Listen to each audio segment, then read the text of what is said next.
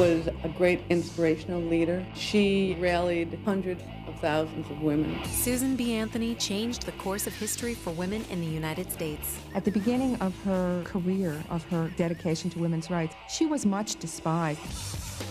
Her arrest for voting in the 1872 presidential election and eventual trial paved the way for women's political rights. One of the things she brought. Good morning, sir. Hey, how's it going? Okay. Thank you for voting today. Welcome. Make America great again. Next. Good morning, sir.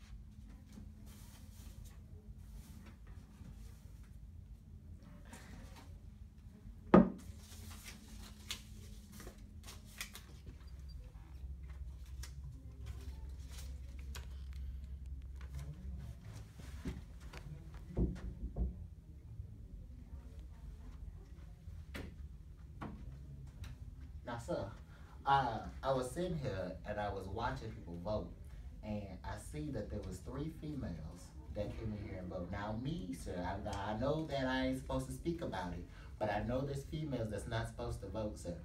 Um, there was a name, Su, Su, Susan. Let me see that song. Okay, all right, It's sir.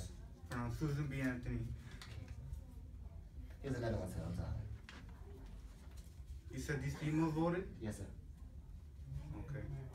Okay. Uh, where are they now? Um, so I think they're outside. They're They're on their way out. Alright, we have to find them. Yeah, we have to find them. This is a federal crime.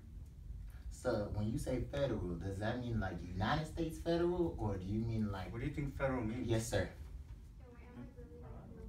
Which way did it go? Uh, so I think they, I think they